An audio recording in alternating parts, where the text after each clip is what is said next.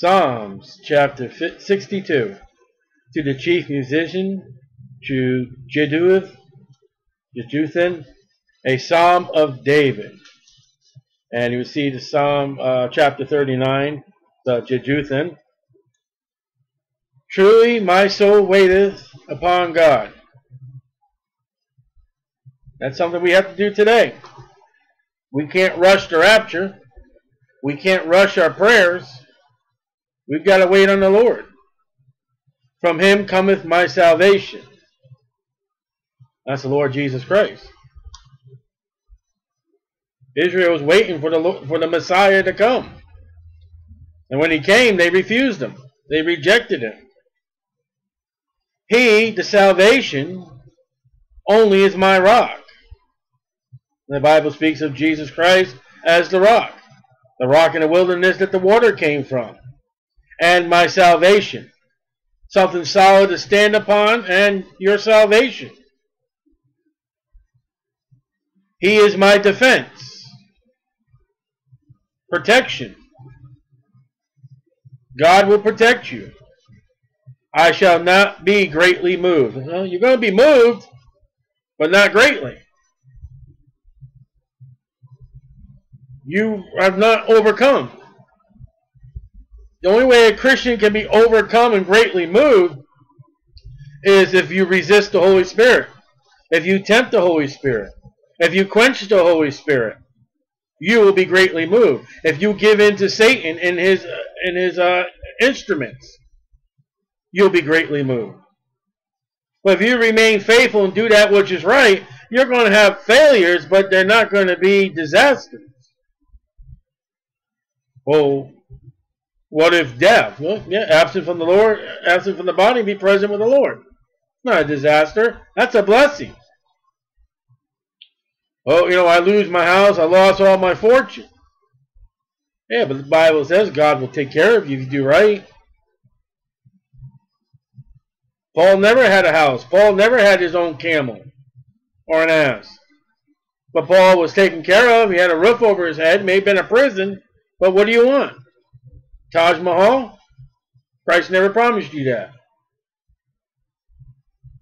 How long will ye imagine mischief against a man?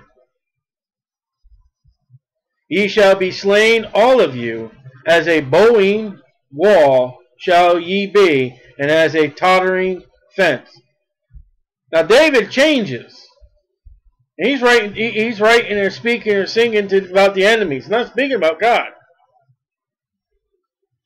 Mischief against a man, you, you, you devise things in your head and in your heart. You want to do evil, you want to do wicked to somebody. And notice he says, imagine. He doesn't say perform. You've got to get this down to realize saved or lost, even what you think, if you don't do, Jesus said, if a man looking upon a woman to lust after her in his heart has already committed adultery with her. You don't have to do. You know, you don't have to use the Lord's name in vain by speaking. All you got to do is think it. God will charge us, saved or lost, by our imaginations, our dreams, and our thoughts. I haven't heard that out of a pulpit. Too many Christians are going to stand before the judgment seat of Christ and they're not going to realize what is going to be judged of their lives. And I hope the Lord will have people listen to these videos and, and wake up before the Lord comes, the rapture, that to put them under the blood, 1 John 1 9.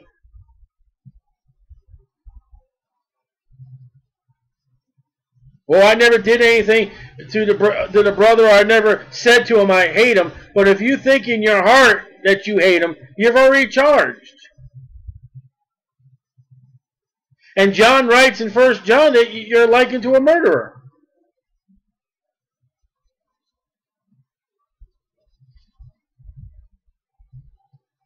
Ye shall be slain, all of you. Killed. As a bowing wall shall ye be. It's not straight. It, it's going to fall within time, within troubles, within problems, within the wind, within weather, within men, animals, an earthquake, and a crash. What he's saying, if you imagine evil, mischief against a man, you're not going to stand for long. As a tottering fence. It's going to fall down. Whether you're strong, you're strong as a rock fence or you're like a little wooden fence. It doesn't matter. If you imagine mischief against a man, whether you're strong as, as rocks or strong as wood, you're going to fall. Get it down.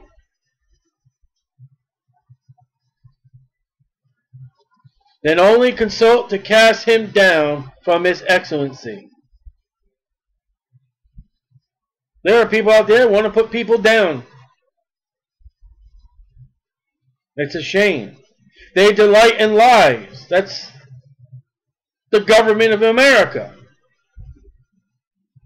And you born again Christians, you voted for the people to be put in the office that are liars. You voted for the Bush son, I think it was, that went against Israel, and when he had that perfect that perfect storm, you put him in office.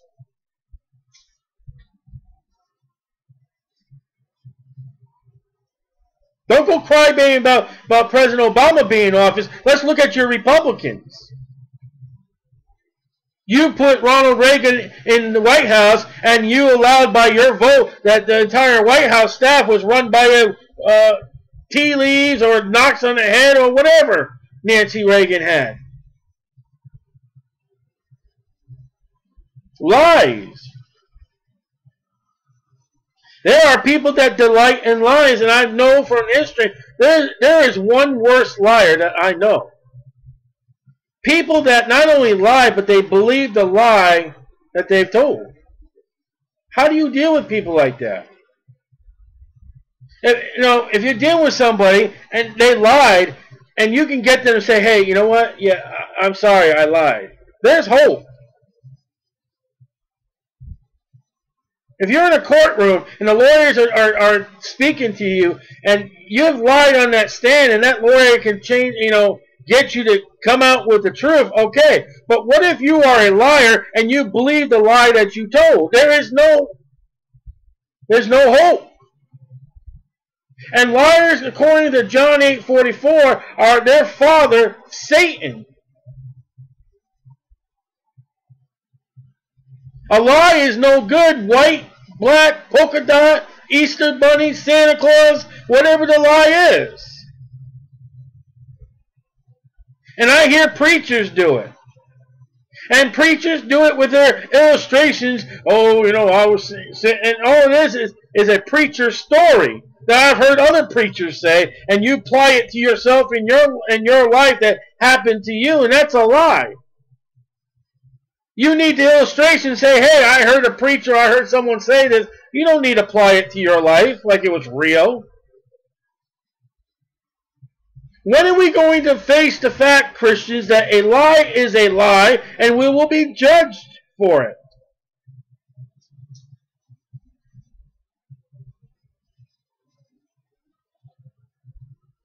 Ponder that before we go any further. They bless with their mouth, but they curse inwardly. That's a hypocrite. That's a guy. Oh, how you doing? Glad to meet you. I hate you. But they're saying I hate you inside. I can't stand you. But you talk nice to them.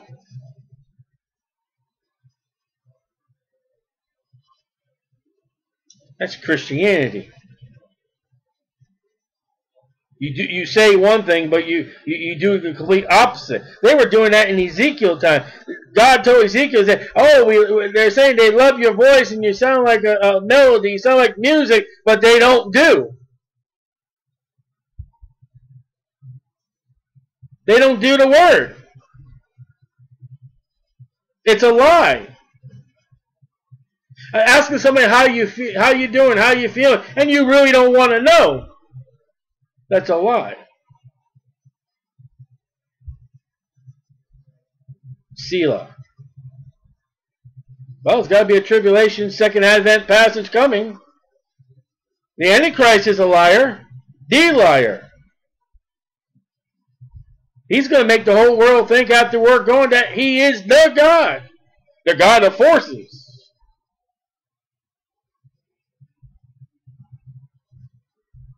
My soul, wait thou only upon God.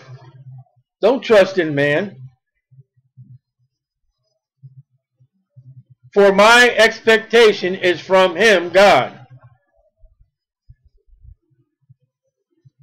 You know, when you get that check Friday, don't thank your employer, thank God.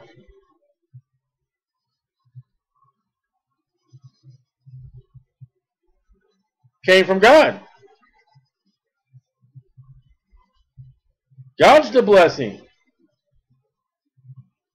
Wait for him to reward you. Don't get your rewarding now. Don't get up before the church and do something so you can get praise or, or do something so the pastor can recognize you or your name can be put into a bulletin or it be put in on a trophy or on a plaque or whatever. Let God reward you.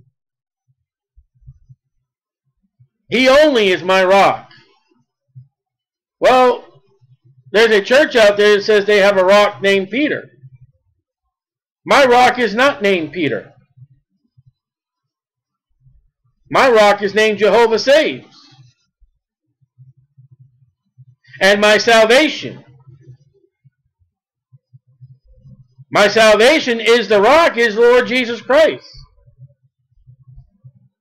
There are churches out there that don't have a rock. There are churches out there that have rock music. He is my defense. Gee, I think we've seen this verse before. Verily, verily. It's a repeat. It's important. He is my defense. I shall not be moved. Something important about that verse.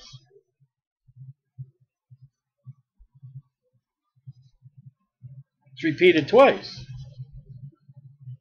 It's like a chorus in a song. This is a song. This is a hymn.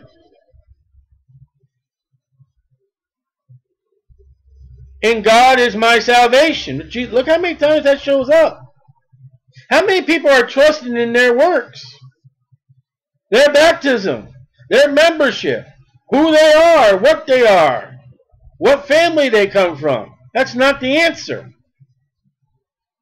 And my glory. What do you glory in? There's a bunch of Christians now glorying over a, a football team that has nothing to do with them. They missed church last night, or church had had their Super Bowl party, and for what? What what did it do for Christ today?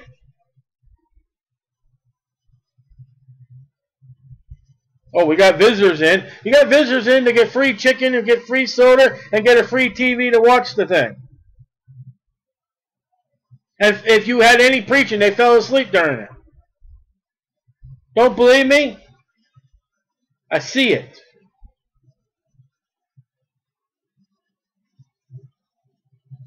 the rock of my strength. Let God be your strength. If you're a weak Christian, you don't have God, the rock, God, Jesus Christ, excuse me, as your strength. And my refuge is in God. Take it all to God. Everything. God wants to hear from you. God wants you to tell him. There's nothing more important to God to, to, to stop going on what's on the backside of Saturn or giving a, a robin a, a, a worm or watching a whale give birth or counting the hairs on the president's head where God says, wait a minute, that's one of mine. He's calling me. All right, let me go over and be with them. I don't believe that. Zacchaeus. Zacchaeus was a nut in the tree that God picked. Levi was sitting at a little booth doing his job, and Jesus reached out to him.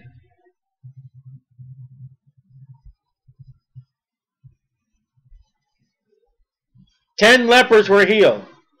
One turned around and came and blessed Jesus. And you know what? He took time for that one. You need a closer walk with the Lord. You need to tell the Lord everything. I heard a preacher one time say, oh, you don't do that, it's nonsense. Listen, you tell God you're angry. What, you're going to hide from God? That makes you a liar, we just read. I'm going to lie to God in verse 4. Oh, God, everything's just going hunky-dory. And God saying, you're just a liar. That's not what's in your heart. I know what's in your heart. Tell me you're mad at me. Though your sins be as scarlet, they shall be white as snow. It says, Come, let us reason together.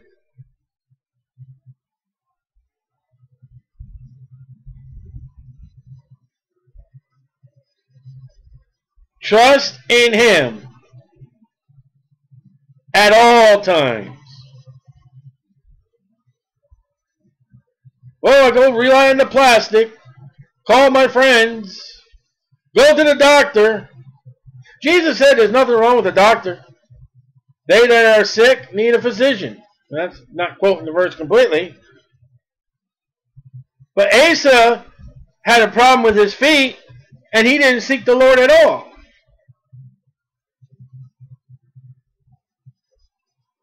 You got a problem, this would be time to say, Lord, I had an issue last night. I had a lump. It was hot. And when I thought of it, I'm in between sleeping and trying to fall asleep, I just say, Lord, I ain't got no insurance, no matter what Obama says. I ain't got no money. It's got to rely on you. I could have gone to an emergency room and wasted thousands, and hundreds, if not thousands of dollars. Wake up in the morning, it's it's not completely gone, but it's gone.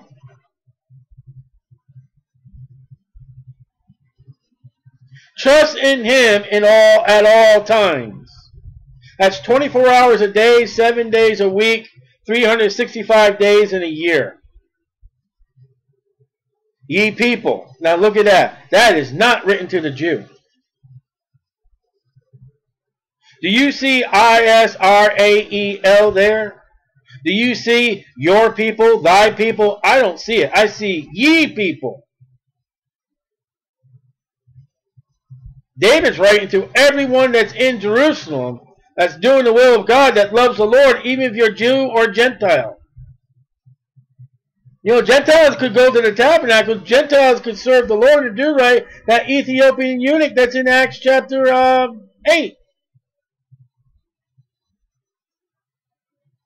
Pour out your heart before him. I already said, tell God the truth. If you are not happy, you think you're getting a raw deal from God. What did Job do? Didn't Job speak his mind? And look what happened at the latter end of Job. Do you realize his three friends were at fault that God proclaimed, and Job was, was, was counted righteous, was counted right, just? Don't you hide from God. Don't you go this pie, I'm never angry with God. That's a bunch of hogwash. And hogs are unclean in the Bible.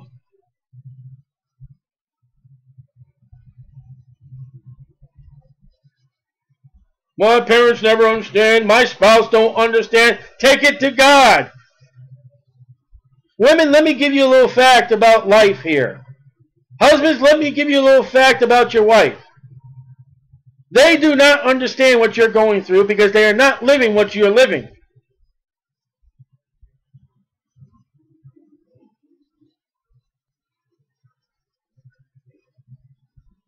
Don't expect your friend, your loved one, to completely understand what you're going through.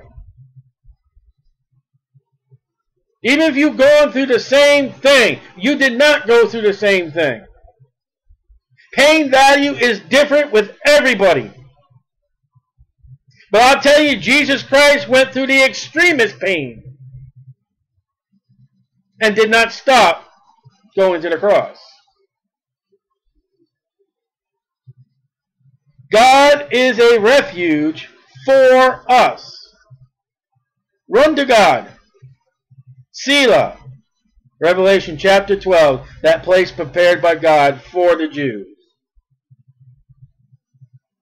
That's going to be their refuge. That's going to be them pouring their heart out to God. God, that, that, that, that thing there in Jerusalem is out to kill us. Lord, we were wrong.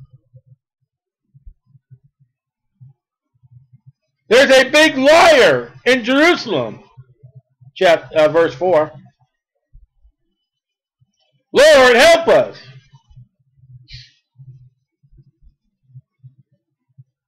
Lord, we ain't got no food. When we can't receive that mark, we violate what you said. Lord, that's not fair. Lord, we're in a situation here that we cannot do what you tell us not to do, but uh, what on earth is going on here, Lord? Surely men of low degree are vanity. The homeless, the poorest of poor, He's vanity. Nothing. But we ain't done. The men of high degree are a lie. Uh-oh. You know the Bible says that we're just dirt and dust and spit. Well, maybe water, maybe not spit. God went out the earth, grabbed a big mud ball and formed it and shaped it, and he even had to breathe into it for it to have life to be laid in the balance. Uh-oh. What it's saying is, God is going to weigh out that homeless man, and God's going to weigh out that, that rich man that has all the corporations and all that, and the CEO. Whether that, that, that homeless man's a low degree, whether that guy, that rich guy, CEO, be a liar, God's going to put him in a balance. They the man of low degree, the man of high degree, are altogether lighter than vanity. They're nothing. They're vanity.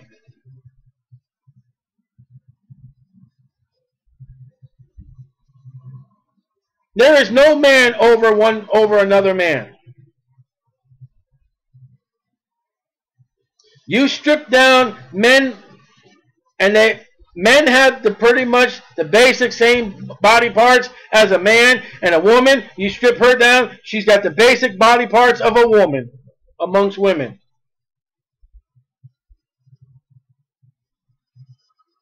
All need air, all need food, all need water. All need to relieve themselves of air and food and water. There's no difference.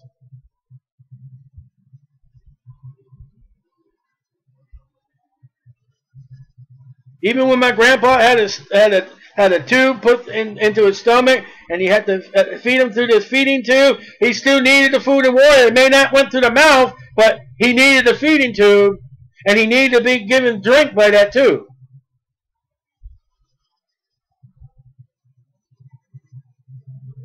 Well, I know somebody who's blind. You're not you're not guaranteed sight.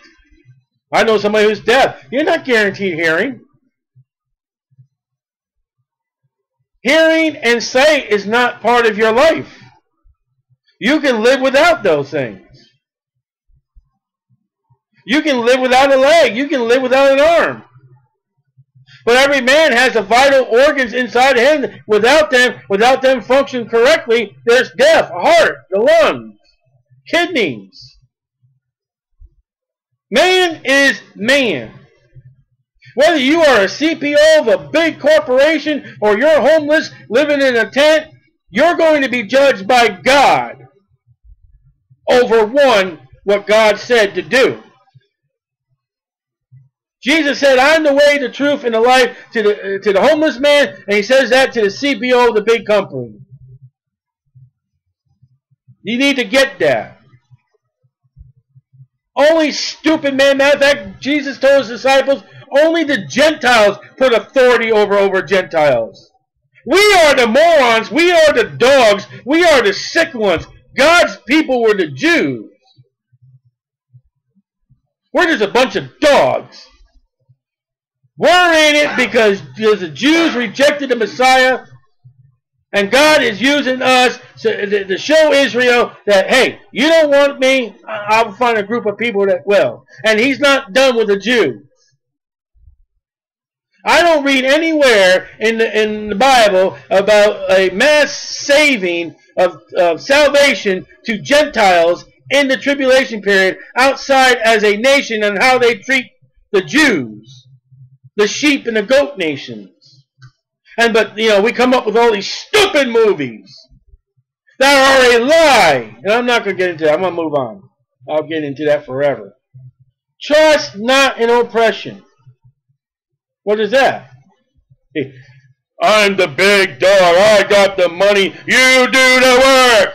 I trust in that. I'm the boss. Yeah. Wait till God points his holy fingers at you and say, I'm the God. You better not oppress anybody. And become not vain, become not vain in robbery. If riches increase, set not your heart upon them. God gives you money, give it back to God. You know, He demands at least 10%. 10% is the minimum. If you do not give 10%, you ain't doing what God told you to do. Don't you tell me you offer the missionaries and you give an offering and, and you don't give 10%. You don't offer to after that 10%.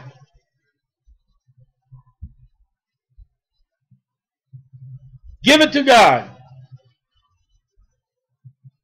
Set not your heart upon them, for the love of money is the root of all evil.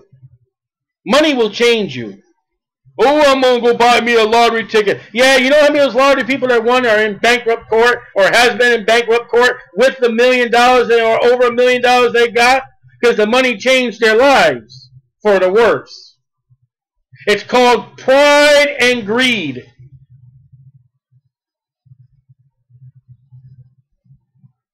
God has spoken once, okay? Twice. Verily, verily. When God repeats it, you better get it down. I have heard this. So God speaketh once, God speaketh twice, three times I, David, have heard this. That power belongeth unto God. Hey! Hey! President Obama is in the White House because of the power of God.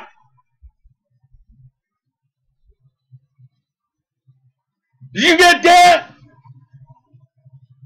You don't have a Republican in the White House because God is in charge of the power. Satan says, I have the power over, the earth to put an authority to fall down and worship me. God allows that power to give him to Satan. If God did not want President Obama in office, God would have told Satan, just like he told Satan with Job, no. Give him a Republican. I hope God uses a Republican to destroy America because I will laugh and I will give you a raspberry in your face. Because I'm not into American politics. I'm into God. I give God the glory. I give God my substance. I'll give God the, the respect and honor and the praise. Not in no office. Not in no things that we go on of a high degree. The power belongs to God. The electric company thinks they have the power and they give me a bill every month. Well, damn the electricity. If God turns off all the power in the power plants in the world and you ain't got a cell phone, you ain't got no AC/DC, God is in power. God is in control. If the Amish can live without it, so can we. God is the power. He ain't the invisible force and little green little guy and a black guy running around, and, and a woman has got Danishes on her hair and stupid movies like all that junk. God! God! The God of the Bible. God had the power to make everything. God has the power to create not no big puff.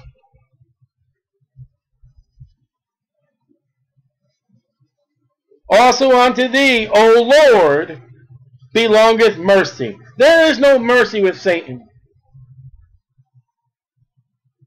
You know, there's times in the Bible when God was, was putting a plague, God was doing something, God was angry, and a saint came up to God and said, God, and they prayed, and God said, okay, that's it, that's enough. Talk to David. When David's given three options.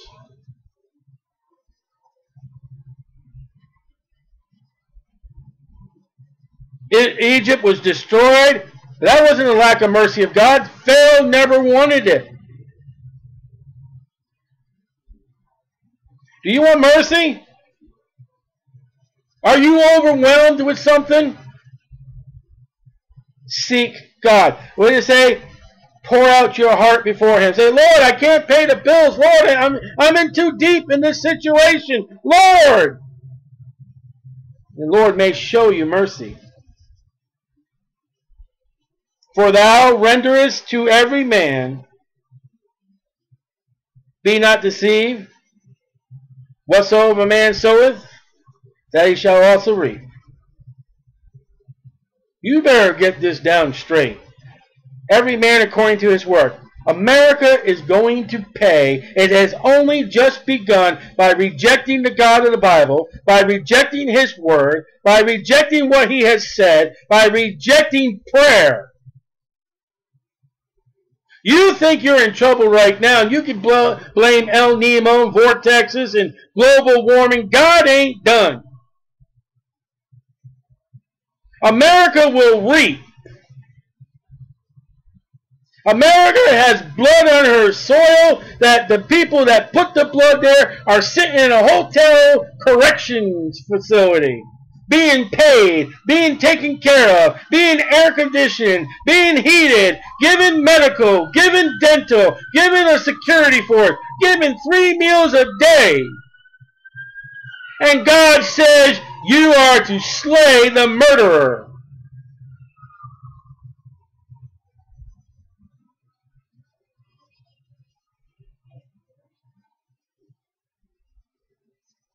Every man according to his work. You better, you better, the Bible says. If you want mercy, you better show mercy. There was a man that, that man, he had this, this big, huge debt. He was going to be thrown into prison, the Bible says in the Gospels. I believe Luke. He went to the to, to the guy, he oh, he boo-hooed, he cried, he said, No, I can't do it. And the guy said, I forgive you.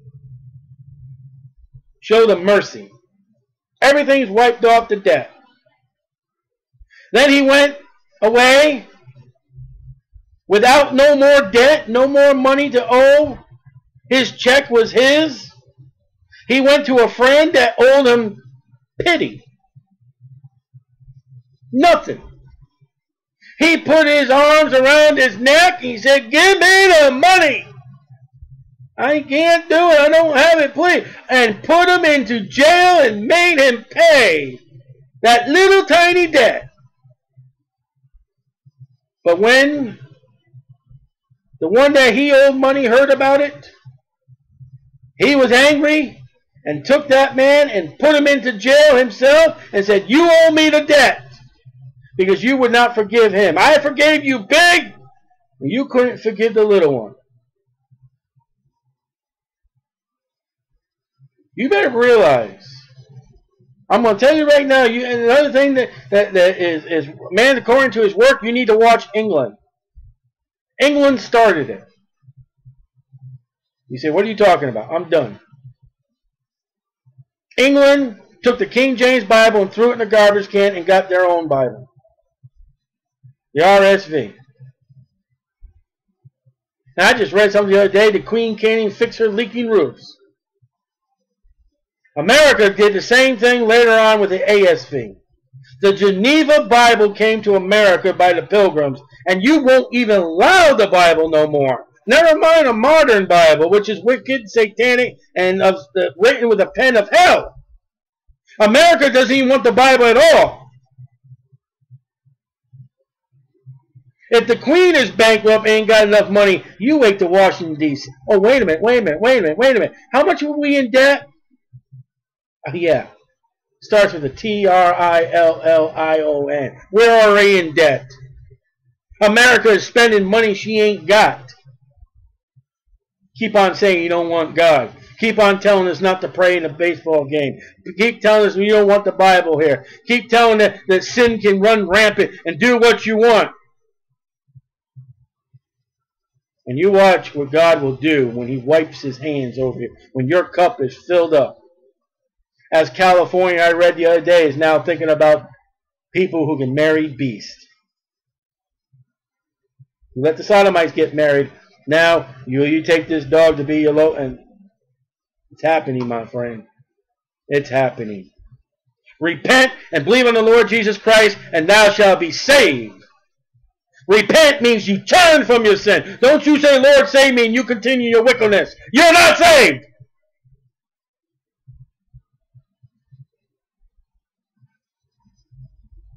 This is a strong chapter.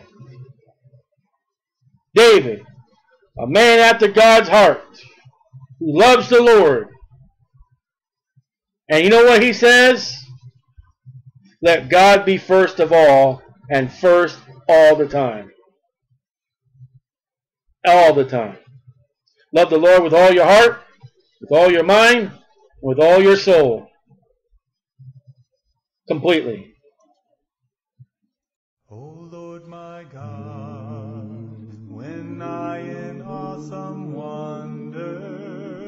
Consider all the worlds thy hands have made. I see the stars, I hear the rolling thunder, thy power throughout the universe displayed. Then sings my soul, my Savior God to thee, how great thou art great thou art. Then sings my soul, my Savior God to thee. How great thou art, how great thou art. And when I think that God his Son not sparing, sent him to die, I scarce can take it in. That on the cross, my burden gladly bearing, he bled and died to take away my sin. Then sings my